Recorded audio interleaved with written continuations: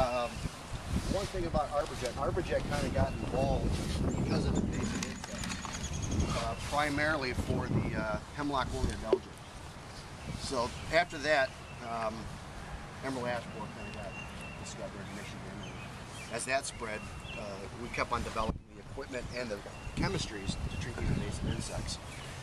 Uh, what's interesting is with ALB that we've also been involved in all the ALB. So if you look at it, most of the um, the ALB infestations, treatments have been part of a control strategy. I was on the ALB project for three years running on Staten Island, where we were actually treating with this device. Um, what we're going to do today is I'm going to kind of go over the equipment, explain it, um, and then we're going to go over and actually put some water. Today we're just using demo, it's just water. Um, I, I, mentioned that to Bill for safety without PPE gear and uh, all that stuff. It was just easier today just to use water, so nobody can contact chemistry. Um, this equipment's never had chemistry in it, so we don't have to worry about it. If anybody wanted to play with it, we'll shoot some water across the pipe. Just, a, it's kind of a fancy squirt gun. Uh, the chemistry, imidacloprid, uh, a little history on that.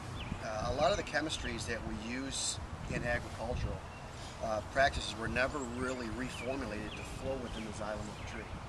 So if you think about the vascular system of the tree, xylem and phloem, and, the, and, the, and how small those, those vessels are, we had to be able to find a way to reduce a large molecule to get to a point where we can ingest or inject into a tree and have it translocate to the canopy. So once we discovered the process to how to do that, that's our imidacloprid, that's our Imajet we could actually go into the base of the tree now, inject within 24 to 48 hours after it's on the tree. That's how fast it is on. So it's really fast. How long? 24, 24 to 48 hours. Wow. It's in the canopy. A tree that size right there probably goes through 200 gallons of water. So you think about the massive flow in that tree. And that's what we tap into, which I'll show. You know, we'll do the injection. We'll show how to get it in there. And just think about um, how much water is going through that. You need transpirational pull, which is, if you think about a leaf surface, the, the water vapors that evaporate off the leaf surface, there's a hydrogen bond, all the water molecules in the xylem. So as one evaporates off the leaf surface, it comes from the ground. So there's a neat little trick you can do is you can actually, uh, like a leaf, a bunch of leaves in spring, if you take a plastic bag over it and cup them for about a while, in about an hour you'll have a cup of water in that bag. Solar still. Huh. Because you can't see it doesn't mean it's not happening. What do they call it? Solar. Solar still? Boy Scouts are taught how to do that. Yeah, uh, exactly. So it's in it's water, it's drinkable, it's potable. So it's actually pretty amazing. It's filtered through the tree's vascular system. And there it is. I don't know if you guys, sugar maples, if you ever cut a lead off a sugar maple, let it freeze, and you can pop those icicles off and eat them, and they taste like sugar. So all that stuff is coming through the vascular system of the trees. We're using the tree's vascular system to treat from the inside out. We can get the product in the tree to the canopy faster. It's no different than us going to the hospital and getting a shot. The first thing that they're going to do is put an IV in you to get product in your body to be able to translocate throughout the body. We're doing the exact same thing to a tree. The equipment's kind of, uh, what's kind of very interesting about this piece of equipment is that it was designed um, by uh, a process. Anybody in the military? I was. Mass inoculator. They used to have, uh, I was in the Marine Corps, but they used to give you a shot without a needle. So you'd walk through there and it would blow the shot right through your skin. So all these guys would be walking in line and just like right through you. So that was the first process, the thought process of how do we design what we're going to design. So the working mechanism is actually off a pneumatic medical device to inject troops. But what we did is then we made a front half of the gun and we actually developed a couple uh, tips. This is air operated. A, a in this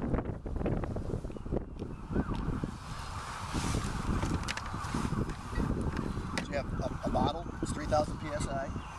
You can probably get three to four days off one tank, and you got a series of regulators to control the airflow. We inject a tree at about 100 psi at the tree. So if you think about that, that's really not a lot. A lot of people, well, that's kind of dangerous. You know, are you, are you injuring the tree? It takes about 700 psi to rupture. So we're still low enough to we're not injuring the tree, but high enough to counteract turgor pressure, which is plant cell pressure. You have two lines that come off of this. The black line would be your air line, and then we have our chemistry. So we can load this system up with about 2,000 milliliters of product.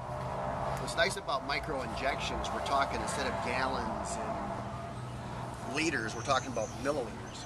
So a tree that big, if I was to measure it, and we're talking probably a 36 inch diameter maple, it would probably take somewhere uh, 18 injection sites with about 300 mils in that tree, milliliters. So you're talking only about this much product in that whole tree to treat it for one season. So it's pretty amazing. So with the concentrated product in the vascular system of that tree, we can use that much less product. It's a closed system, which when we do an injection, you'll also see. So we're not entering anything in the environment. So there's no contamination to soil, water, and air. So what's nice about a trunk injection is I can treat these trees right on the on the stream bank with no concern about any contamination in the trees. So that's another plus of what we're doing with the trunk injection. It's an environmentally friendly, friendly way to treat these trees. Now, Joe, when, when you're doing like a, a soil drench or something of that nature on the trees, how much chemical is actually applied at that point? You know, it's pretty amazing um, the volume that has to go on a soil drench. I think like a 10 inch tree takes two and a half gallons to mix, to put into the soil. So as the tree gets bigger, that exponentially gets bigger also. So a tree probably on that big would probably almost have to have 40 gallons product dumped around the soil compared to milliliters. compared to milliliters, compared to a glass of concentrated product versus 40 gallons. So Is that's that- the concern. Is that still the same concentration though? Or would that Um, be it's a actually diluted? diluted with water as a carrier, but because of the dilution rate, you still have the opportunity for that to leach out. If that makes right, sense. right. My concern is that um, a lot of times soil treatments are a gray area to understand if the tree actually absorbed it by the roots or not. So, trees on the side of a hill, if you were to do a soil drench, theoretically, where do you think the product's going to go? Down below the tree. It's going to probably run right down into the creek and then right over here and then gone before the tree absorbs it. So even though you did according to label and it's in, in, within the labels of law, do you really know if the tree got it or not? Hmm. That's the concern with the soil applied product. Um, what if there's sandy soil underneath it or there's it's rocky? Soil-borne or applied products are designed to attach to organic matter. So if it's sandy or rocky, it'll leach right past that it. So that's What's the cost comparison? The cost comparison, if you add it up, it's probably very close. Trunk injection is probably going to be more expensive, but you're going to get the better control. Right. So you're paying for more control. So with the science, we have uh, statistics of 99% effective if, if it's injected. Do we have science on soil? There's a yeah, it, it, it ta- tapers off real fast. And as the bigger the tree is, it even tails off faster. Um, off the record, I could probably say a lot more, but Okay. without bashing any other chemical companies, I would rather not because everything out there has a purpose and they're very effective on certain insects and targets. But when we're talking about an invasive insect such as ALB or emerald ash borer, you have to have the higher rate of product on the target to be effective. Okay, so the morning compressed air, we got all our product in here, and now we can actually go do an injection. Again, we Can I- got to talk to. Yes. Can I just bring up one point that I think Yes, is important for everybody to understand? This was actually a, um, uh, a figures that we were waiting to release after the environmental assessment came out, Mm-hmm. but we've had our own statistician based on the USDA's number of trees taken out in the first 1,088 trees. He did a he did a comparison between what it costs, what it costs the USDA to treat the trees with a product like ArborJet or Mount, any of the tree injection, hydraulic injection systems, versus cutting the tree down. He took those original 1,088 trees, he broke them down by diameter at breast height, which had already been done by the USDA.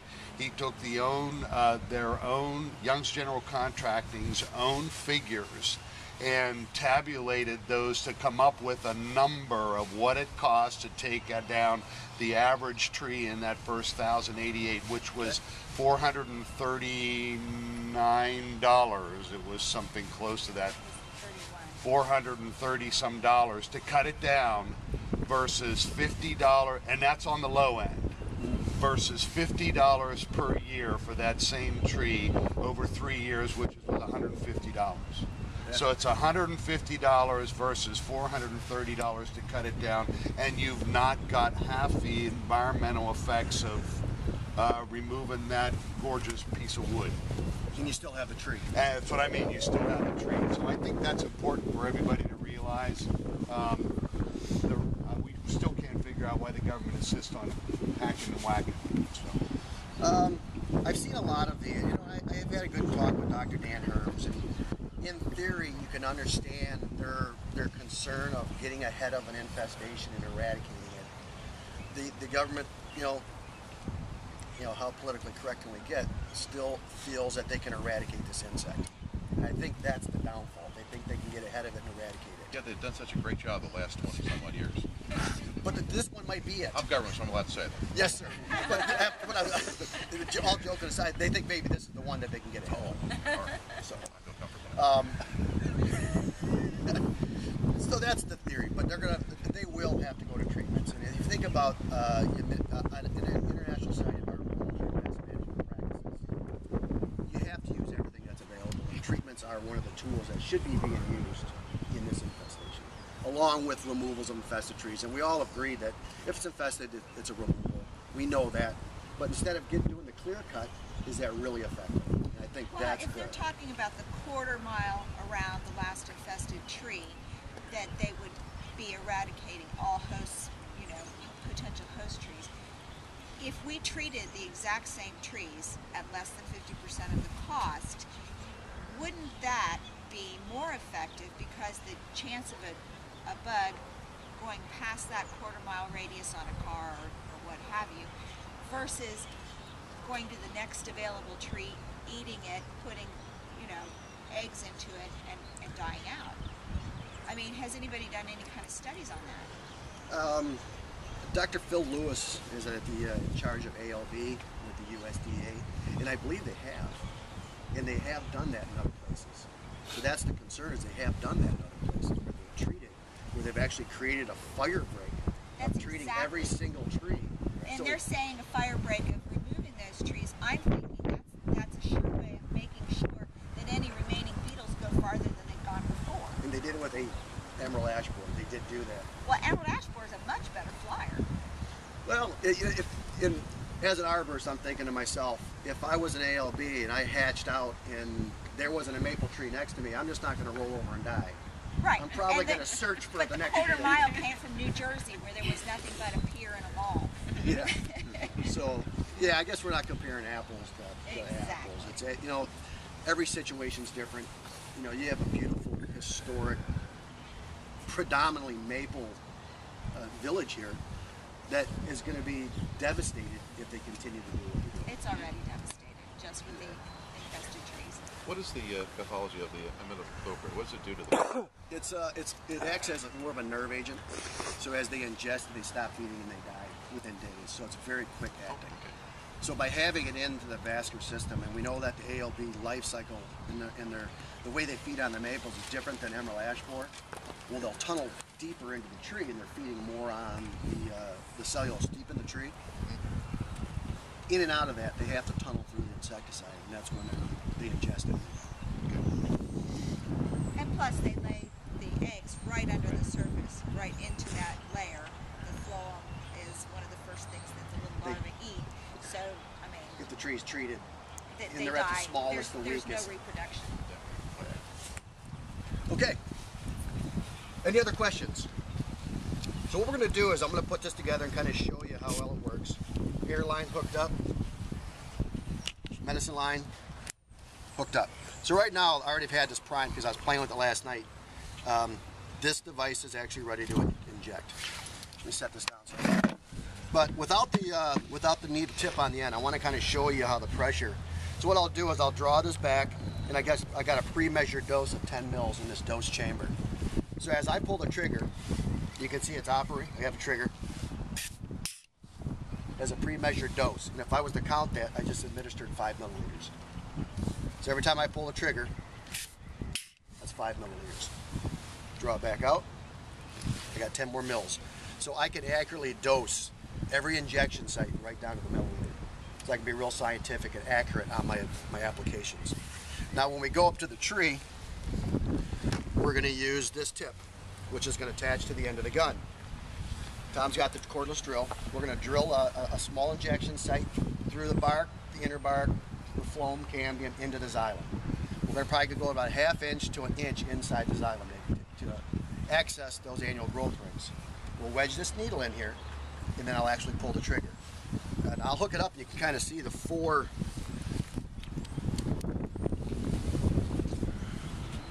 Step back a little bit so I don't shoot nobody. You'll actually see there's four uh, points in this needle.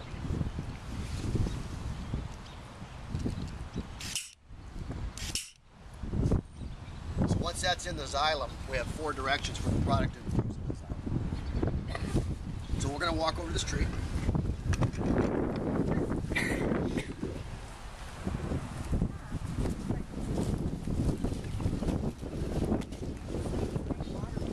What we use is we actually use a, uh, a woodworking bit. Uh, when we're doing our injections, we want to do a real good job, nice clean inje- injection site in and out. Um, speed up the, the process of the application. First thing is to do is measure the tree.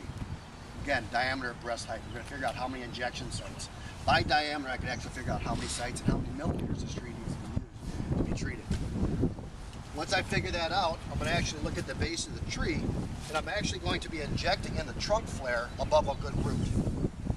Um, this is probably a good 36, 38 inch. So probably 20 injection sites in this tree. So what I would do is I'd locate the foot. I would never inject into some tissue because I'm going to make sure that I have good uptake. Uh, finding a good root flare. Locating a fissure. So without any pressure, you walk through the bark. And from that point,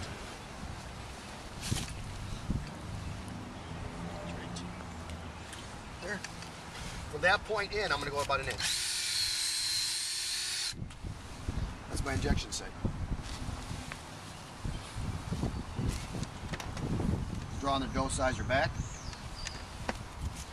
Taking the tip. Wedging it in.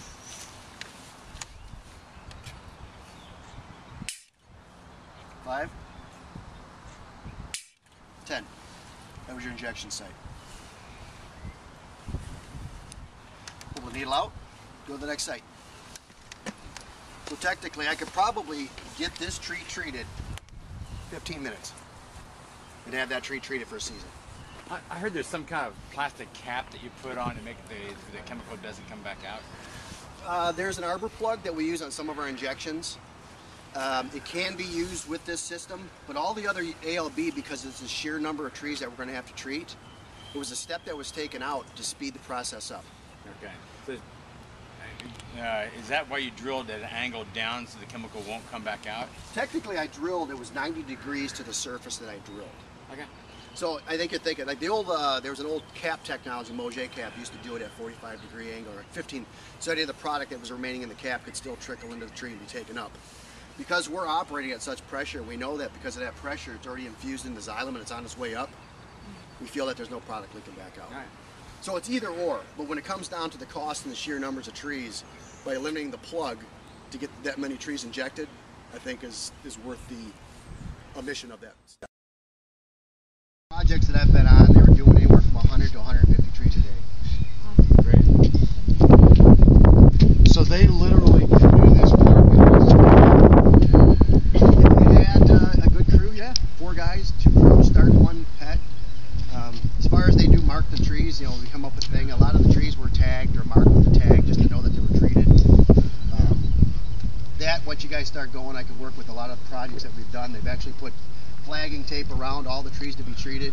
And as they were treated, they pulled the flagging tape off, and you could look out there. Anything with a red ribbon on is still needed to be treated. Gotcha. But realistically, this park can be treated in a day, two days at most. Yeah. This is a maple. This is yes. Okay. So that's, that's the one. This would be one of the most. exactly. It's beautiful. Yeah, that's a gorgeous maple. That's um, that is uh, how. What did you think that was? 36, 38 inch diameter. Yeah, I'll go around by di- diameter tape. We'll really measure it. But I think that's probably 75 plus year old tree. So, So how long old? No, older.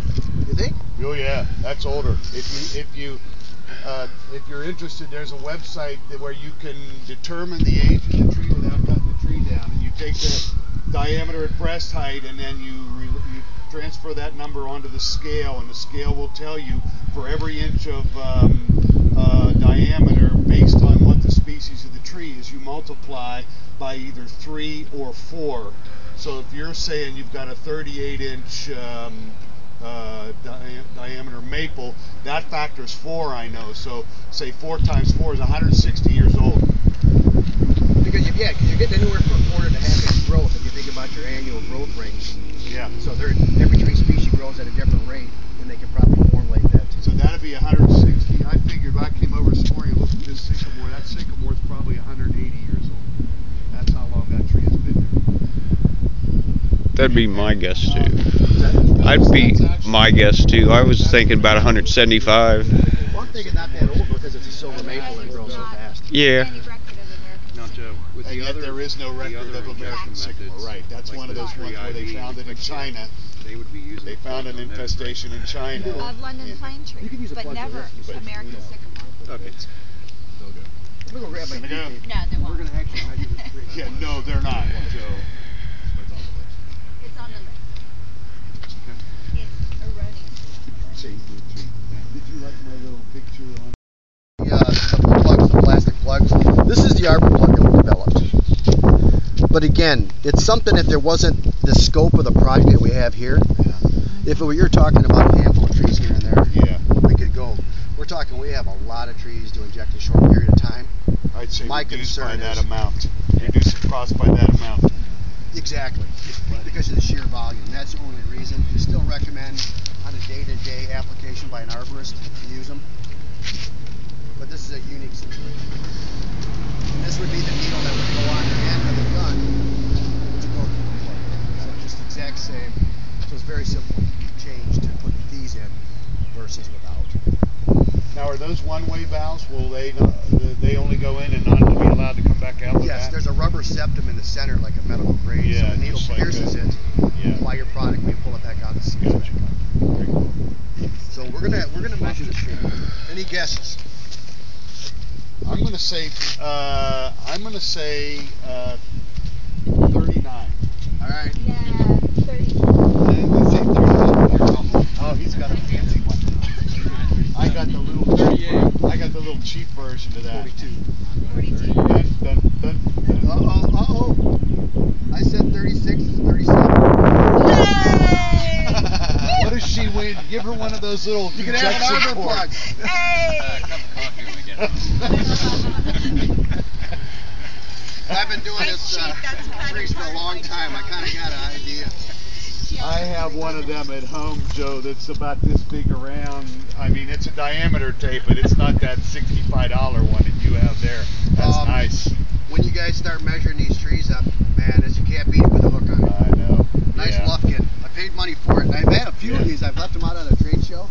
Yeah. Someone else has a nice Lufkin one now. Oh man.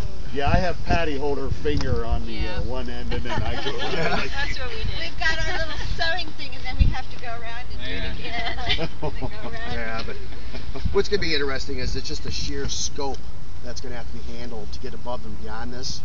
Um, yeah, eliminate the plugs, go to this system. You- You're knocking trees out. Let's get them done. Let's get them And we're not talking, this is not, this is not in this area alone. We, we've been talking to people all week long at the uh, Home and Garden Show, and there's Okay. been firewood taken out for the entire time, specifically from infested areas, and we know that now. Y- You're right. You know, someone was saying that they just discovered it. Was it last year, two years ago? It was discovered June. This June, last here in June. So a June. year in June. Yeah. you're right. So it's probably been here 10, 12 years. Yeah. I that's the have thing. I have a photograph of a large maple with crown dieback from eight years ago, and it was already dying back on the crown. Yeah. There's uh, there's maple decline going on right now too, which is in Michigan, Ohio, and Indiana. And they don't they can't understand why it is, and it's the same signs and symptoms as Asian longhorn beetle, but it's a bacteria. Uh, So yeah, because you got when we got those in Michigan, same looks just like it. well, this was heavily infested. It's gone now. Is it? Yeah. So it was. And it was like said, heavily infested. In fact, an arborist checked it seven years ago. Was it seven? Seven, six, seven years ago, and said, "I, you've got something here, but I don't know what it is." Yeah, I did a, uh, a seminar Tuesday in Columbus for uh, one of my distributors. I probably had a hundred arborists and landscapers in the room, and I asked them to raise their hand if they could identify an Asian longhorn beetle. I think three of them put their hand up. That's sad. That's sad. So and the them to our problem is, is that our green industry is not being educated by Ohio State Extension. You're not, are you recording that? that's all right. No, that's okay. They had public awareness. We have to have the green industry. I don't care if you're just a, a, a landscaper or or whatever. Is your low at a six to eight mil, so eight times thirty-six, eight times forty. So you got you have 320 milliliters of Imajet probably going to go in that tree at 30 cents. So what's three times?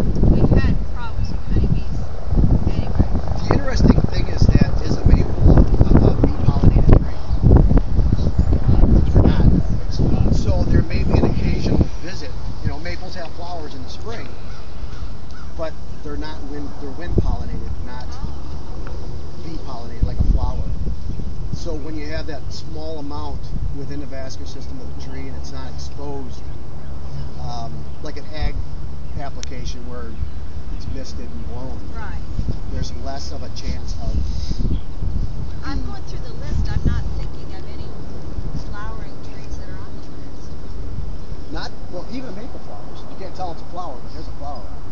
Well, but I'm talking like like flowers. Exactly, like a like a dogwood or something yeah, really something that obviously is covered with bees. Generally, I like